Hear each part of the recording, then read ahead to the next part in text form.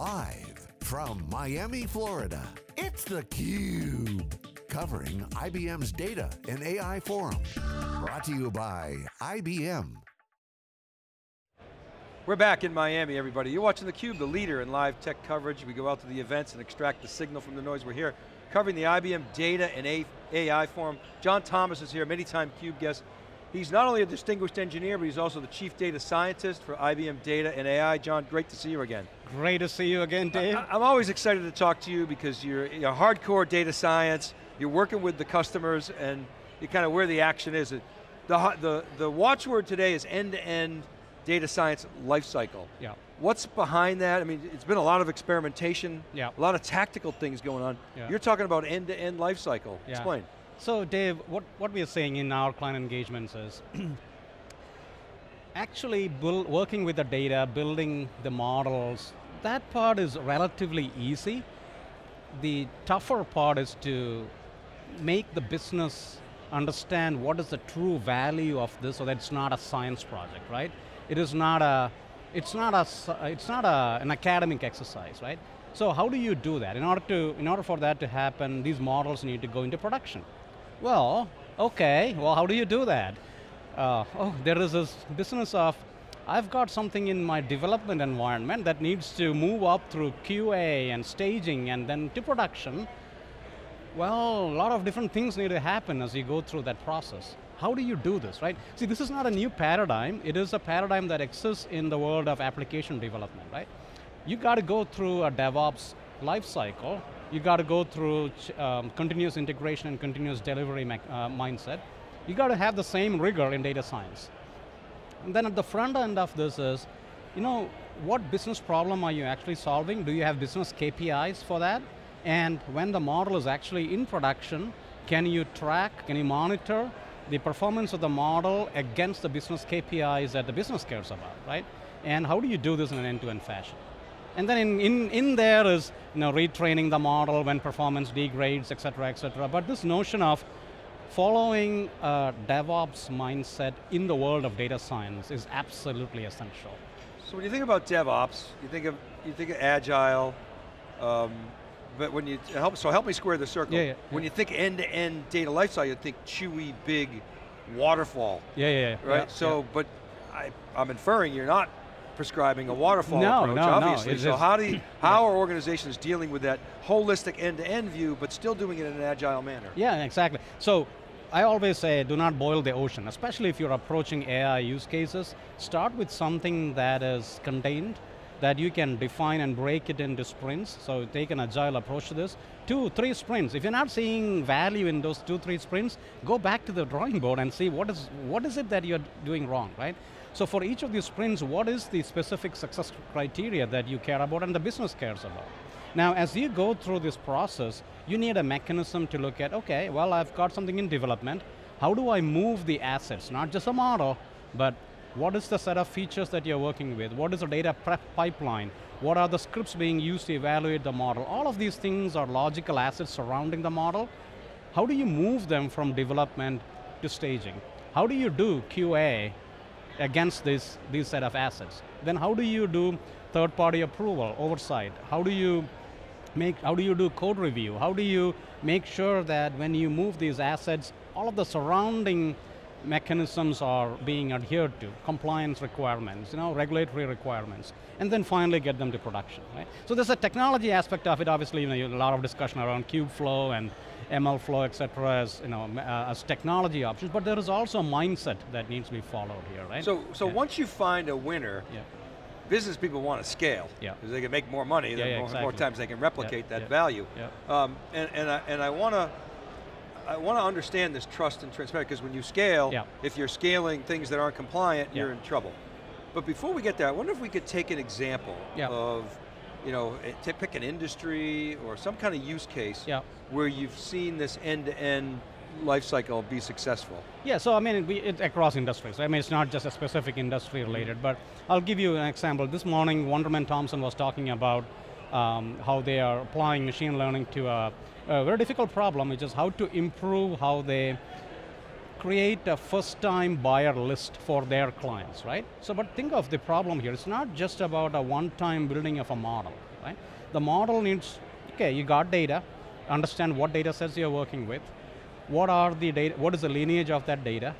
Once I have the understanding of the data, then I get into feature selection, feature engineering, all the steps that are needed in your machine, machine learning cycle. Once I am done with selecting my features, selecting my, doing my feature engineering, I go into model building. Now it's a pipeline that is being built. It is not a one-time activity. Once that mo model, the pipeline has been vetted, you got to move it from development to your QA environment, from there to your production environment, and so on, right? And here comes, and this is where it links to the trust and transparency discussion. Well, the model is in production, how do I make sure the model is being fair? How do I make sure that I can explain what is going on? How do I make sure that the model is not unfairly biased, right? So all of these are important discussions in the trust and transparency because you know, people are going to question the outcome of the model. Why did you make a decision? If, if um, um, a campaign was run for an end individual, why did you choose him and not somebody else? If it's a credit card fraud detection scenario, why was somebody tagged as fraudulent and not the other person?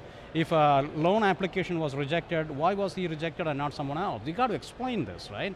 So it's not uh, an explainability, that term has a lot of, you know, it's, it's overloaded at times, but the idea here is you should be able to retrace your steps back through an individual scoring activity and explain an individual transaction. You should be able to play back an individual transaction and say, version 15 of my model used these features, these 100 features for its scoring. This was the incoming payload, this was the outcome, and if I had changed five of my incoming payload variables out of the 500 I used or 100 I used, the outcome would have been different. Now you can say, you know what, ethnicity, age, uh, education, um, you know, gender, these parameters did play a role in the decision, but they were in within a fairness bracket. And the fairness bracket is something that you have to define. So if I can uh, play that back, so yeah. first take fraud detection. Yeah. So you might have the machine telling you with 90% confidence or, or greater yeah. that this is uh, fraud, but it throws back a false positive. When you dig in, you might see, well, there's some bias included yes. in there. Yes. And so then, yes. then what? You would kind of refactor the model? So, so a, a, couple of different things, right? Sometimes a bias is in the data itself, mm -hmm. and it may be valid bias, and you may not want to change that. It's an, it's an, and that's what the system allows you to do. You go, tells you, this is the kind of bias that exists in the data already, right? And you can make a business decision as to whether it is good to retain that bias or to correct it in the data itself.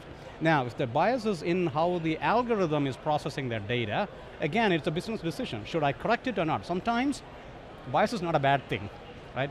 yeah, yeah. it's not a bad thing. So, no, because you are actually looking at what is what signal exists in the data. But what you want to make sure is that it's fair. Now, what is fair, right? That is up to the regulatory body or your business to define. Okay, you know what? Age range between 26 and 45. I want to I want to treat them a certain way. And that's if it's a conscious decision that you as a business or your industry is making, that's fair game.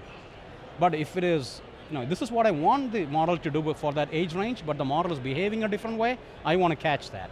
And I want to either fix the, the bias in the data or in how the algorithm is behaving with the model. So you can inject the edicts of the company into the exactly, model, exactly. but then as, as long as, okay, and then a, a, appropriately and fairly apply that, yes. as long as it doesn't break the law. Exactly, exactly, right, right, which, is, right, which is another part of this the another compliance, of this, right? Yeah. yeah so okay. because you know, this is, this is not just about compliance. Compliance is a big, big uh, part here, but this is also just answering what your end customer is going to ask. You know, I put in an application for a loan and it, I was rejected. And I'm, I want an explanation as to why it was rejected, right? So you got to be transparent. I got to be is, exactly. Is your point there? Exactly, exactly. And if the business can say, you know what, this is the criteria we used. You fell in this range, and this, in our mind, is a fair range. That is okay. That may it may not be okay for the end customer, but at least you have a valid explanation for why the decision was made, by the model. So it is not some black box making some. So the bank Yeah. might say, okay, well, the, the, the, the decision was made because we don't like the location of the property, we Right. think they're overvalued, it had nothing to right. do with your credit. Exactly. We just exactly. don't want to invest in, in this. Exactly. by the way, maybe we advise you don't invest in that Yeah, either. right, right, so I don't know if that feedback loop is there. But Yeah, so but you know, this is uh, being able to find out for each individual transaction, each indi individual model scoring, what weighed in into the decision that was made by the model, right? This is important. So you got to have atomic access to that data. At the transactional and- level, And, at the make it transparent. Are, are organizations, take, take banks, are they actually making it transparent to their consumers? Everyone is- I know in situations that I'm involved in, it's either, okay, go, or uh, no, but here, we're not going to tell you E- why. right? Everyone is beginning to look into the Yeah, space. right? This- Healthcare is another one, Oh, right? Where you guy big, would love more transparency in Exactly. healthcare. So this is this is happening, right? This is happening where people are looking at, oh, we can't just do black box decision making. We have to we have to get serious about this. And I, and I wonder, John, if, if a lot of that black box decision making is just easy to, to not share information. Healthcare, you're worried about HIPAA. Yeah, yeah. Financial services Yep. is so highly regulated, so Yep. people are afraid to actually be Yep. transparent. But Machine in- intelligence potentially solves that problem. So internally, at least internal to the company, when the decision is made, you need to have a good idea why the decision was Yeah, made, right. right. As to what you use to explain to the end client or to a regulatory body, it's up to you. At least internally, you need to have clarity on what decision, how the decision was arrived at. When you were talking about feature selection and Yep. feature engineering and, Yeah. and model building, Yep. how much of that is being done by AI or things like auto AI, you know, versus humans? So it depends, right? So if, in a, if it's a relatively straightforward use case, you know, we're dealing with 50, maybe 100 features, not a big deal, right? I mean, I could, uh, a, a good data scientist can sit down and do that. But again, going back to the Wunderman Thompson example from this morning's keynote, they're dealing with 20,000 features. You know, you just, it, there is a, you just can't do this economically at scale with a bunch of data scientists, even if they are super data scientists, Right. doing this in a programmatic way. So this is where some- something like Auto AI comes into play, which says, you know what, out of this 20,000 plus feature set, I can select, you know, this percentage, maybe a thousand or 2,000 features that are actually relevant. Two, now here comes interesting things, not just that it has selected 2,000 features out of 20,000, but it says, if I were to take three of these features and two of these features and combine them, combine them, maybe do a transpose, maybe uh, do an inverse of one and uh, multiply it with something else, or whatever, right? Do a logarithmic approach to one and then combine it with something else. XOR it, whatever, right? Some combination of operations on these features generates a new feature which boosts the signal in your data. Here is the magic, right? So suddenly you've gone from this huge array of features to a small subset, and in there you are saying, okay, if I were to combine these features, I can now get much better predictivity, prediction power for my model. And that is, that is a very, and auto AI is very heavily used in the Wunderman example, right? But in, in scenarios like that where you have very large scale feature selection, feature engineering. You guys use this concept of the data ladder, collect, uh, organize, analyze, and, Yeah. and infuse. Yeah. Uh, correct me if I'm wrong, but a lot of data scientists' time is spent collecting, organizing. They want to do more Yeah, yeah. analysis, and Yeah. so ultimately they can infuse. Um, talk about that analyze portion and how to get there, and what kind of progress the industry generally and IBM is making to help data scientists. Yeah, so analyzers, tip- you know, you don't you don't jump into building machine learning models, right? The first part is to just do exploratory analysis, you know, age-old exploration of your data to understand what is there, right? I mean, people jump into the sexy bit first, you know, and it's it's normal. But if you don't understand what your data is telling you, it is, it is foolish to expect magic to happen from your data, right? So exploratory analysis, your, your traditional approaches, you start there. Then you say, okay, in that context, I think I can do model building to, uh, to solve a particular business problem, and th- then comes a discussion of, okay, am I using uh, neural nets, or am I using classical uh, me- mechanisms? Am I doing this framework, XGBoost, or TensorFlow? All of that is secondary. Once you get to exploratory analysis, looking at framing the business problem as a, as a set of models that can be built, then say, what technique do I use now? And, and, and Auto AI, for example, will help you select the algorithms once you have framed the problem. right? It says, okay, should I use light GBM, or should I use, uh, you know, should I use something else, you know, should I use logistic regression, whatever, right? So it is, it is something that the algorithm, the algorithm selection can be helped by auto AI. So John, we're up against the clock. Uh, Yeah, yeah. Great to have you. Uh, wonderful discussion. Thanks so much. Really absolutely, appreciate it. All right, absolutely. good to see you again. Yeah, same here. All right, thanks for watching everybody. We'll be right back right after this short break. You're watching theCUBE from the IBM Data and AI Forum in Miami. Right back.